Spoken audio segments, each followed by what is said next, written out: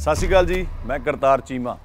ਫਿਲਮਾਂ ਤਾਂ ਪੰਜਾਬੀ ਸਿਨੇਮਾ ਦੇ ਵਿੱਚ ਬਹੁਤ ਬਣ ਰਹੀਆਂ ਨੇ, ਪਰ ਇੱਕ ਬੜੀ ਹੀ ਵਿਲੱਖਣ ਤੇ ਵੱਖਰੀ ਫਿਲਮ ਪੀਟੀਸੀ ਮੋਸ਼ਨ ਪਿਕਚਰ ਦੀ ਬਾਗੀ ਦੀ ਧੀ, ਸਭ ਲਈ ਵੇਖਣੀ ਬਹੁਤ ਜ਼ਰੂਰੀ ਹੈ। ਤੇ ਮੈਂ ਤਾਂ ਜ਼ਰੂਰ ਵੇਖਾਂਗਾ, ਜੋ ਸਿਨੇਮਾ ਘਰਾਂ ਦੇ ਵਿੱਚ ਰਿਲੀਜ਼ ਹੋ ਰਹੀ ਹੈ 25 ਨਵੰਬਰ ਨੂੰ।